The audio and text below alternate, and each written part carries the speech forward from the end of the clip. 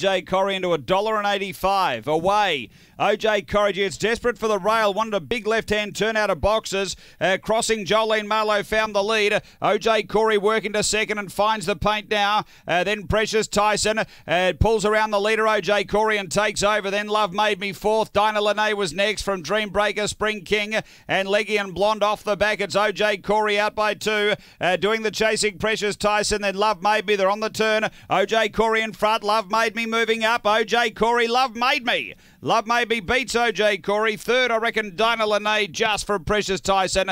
Uh, behind those, we had Jolene Marlowe, Leggy and Blonde, Spring King. It was back toward the tail with Dream Breaker. The time here is 30 and 41. After the running of race number 10, Love Made Me, coming with a uh, strong run at the end, has been too good here for Troy Murray.